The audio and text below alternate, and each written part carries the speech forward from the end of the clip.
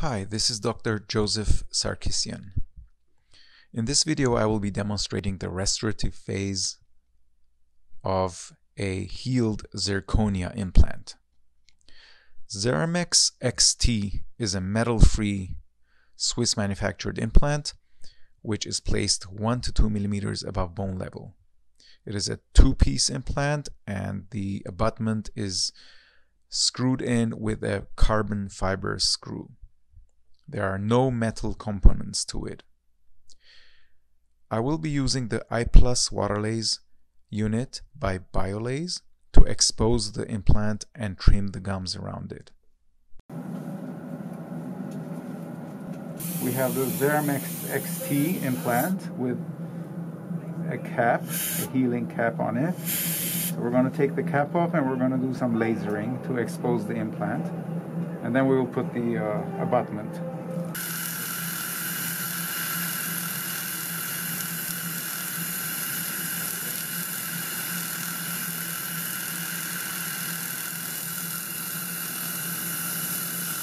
We're going to use the prosthetic key to remove the cap.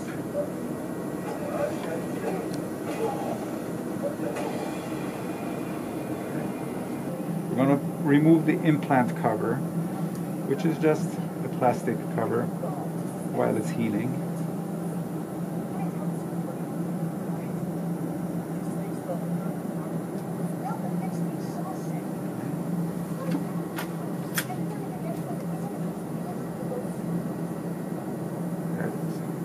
Of course, there's some contamination underneath, so we're going to clean it, disinfect it, and now I'm going to continue lasering the tissue around the implant.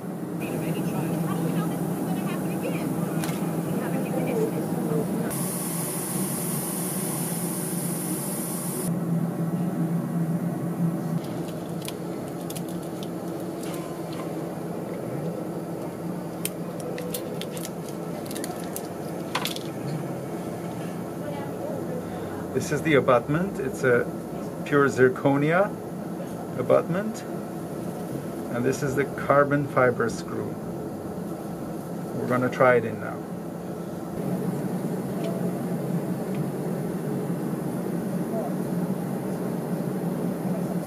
We're going to use this again, same driver.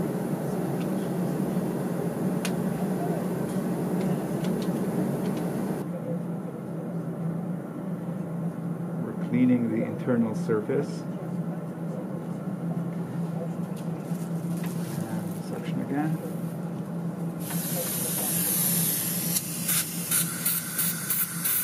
So it stay open. And we dry it really well.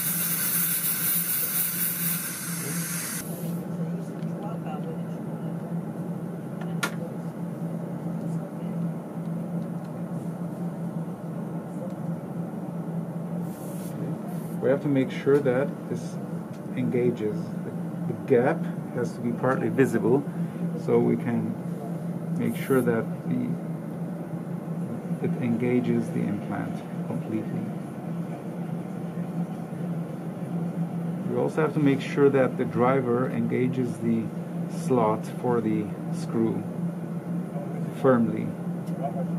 If we use a wrench adapter and tighten the carbon screw firmly with our fingers, it may be enough, but it is hard to gauge the forces exerted by it and we can easily apply more or less force needed depending on the fingers and the uh, practitioner.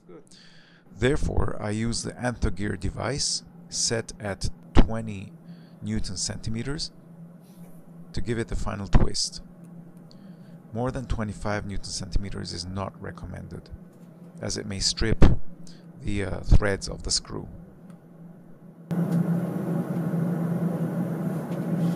Okay, there. I like to cover the access hole with a provisional material called Clip Flow, which is made by Voco. This material remains rubbery, very easy to remove if we need uh, access to the screw in the future. And on top of the clip, I add a layer of white opaque flowable composite. And then we treat the whole abutment as a regular tooth, which can be prepped and shaped. So now we're going to do the Periotest, which reveals the stability of the implant and gives us a value.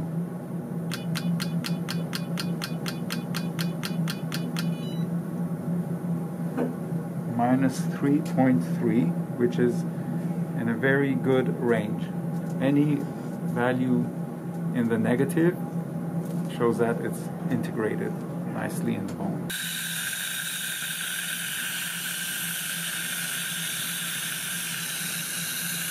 The abutments at this point can be easily prepped as long as we use a new red striped fine diamond burr and very light pressure and a lot of water irrigation. Even the margins can be prepped so that we remain parallel or just subgingival to the uh, gum level.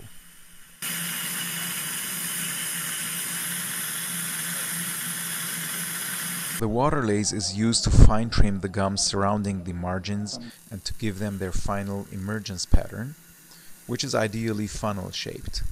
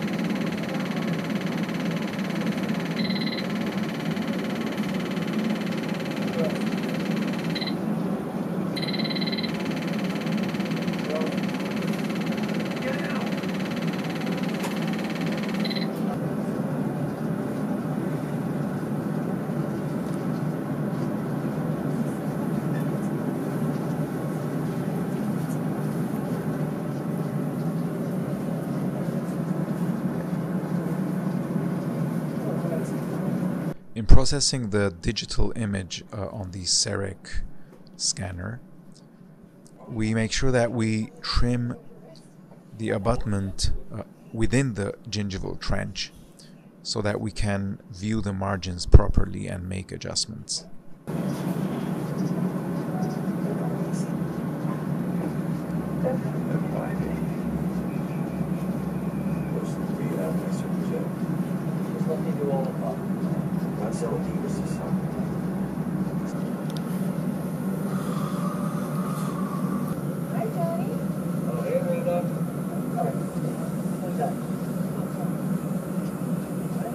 Extra here so that the tooth looks like it's filling up this area. Needless to say, uh, using this CEREC and this digital model that can be turned around and uh, viewed from different vantage points, we can make any change we want and uh, compensate for you know, any differences in uh, or any discrepancies in the platform or the position of the implant.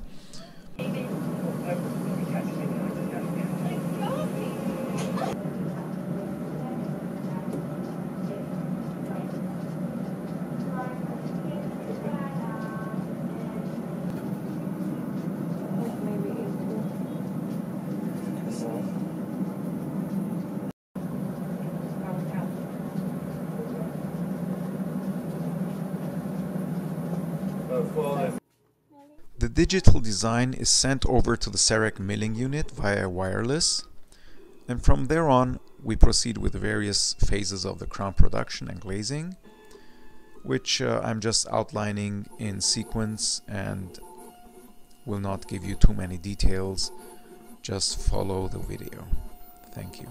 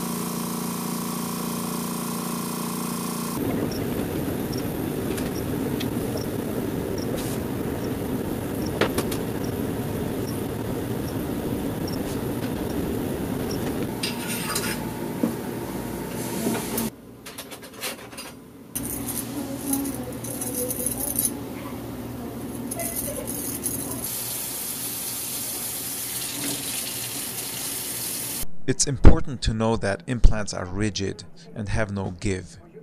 Therefore, it is absolutely imperative to make sure the proximal contacts are not too tight, otherwise the crown will just not seat properly.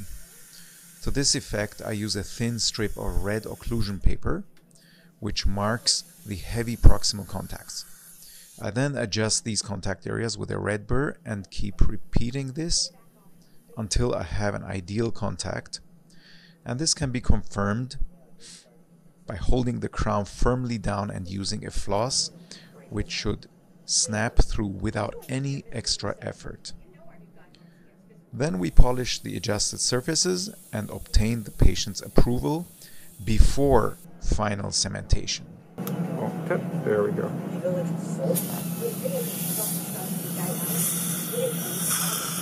Yeah, as long as you're, that's how it's, yeah, that's how it is.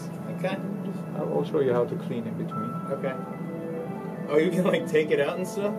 No, no, Oh, no, no. no, between like with a little brush Oh. because now you have a little between the implant and your tooth, eh, you have a little larger space. Alright. Once we get the patient's approval, then we can proceed with etching the crown internal surface with hydrofluoric acid for 20 seconds per IPS e.max uh, instructions.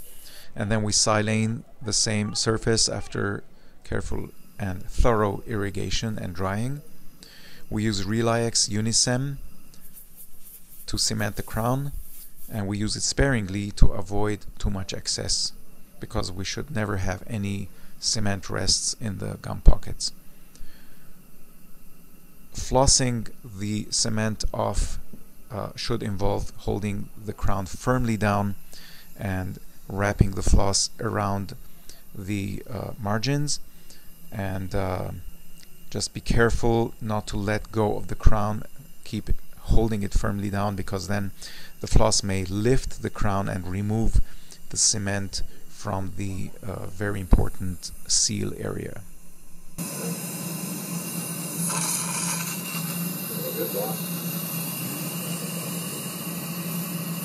And again.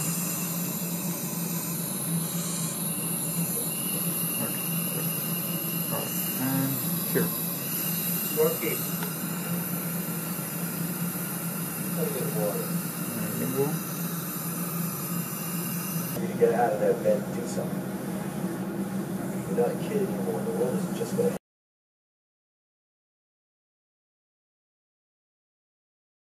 After cementing, we wait at least 5 minutes before we do a bite check and the occlusion is adjusted so that the final contacts are a little lighter than the remaining teeth. Because as we know and as I said previously the implant is very rigid and it should not be entertaining heavier contacts than the regular teeth which have a certain give to them and the bite check has to be repeated once a year because as the remaining teeth wear down the implant will not and it may eventually end up hitting harder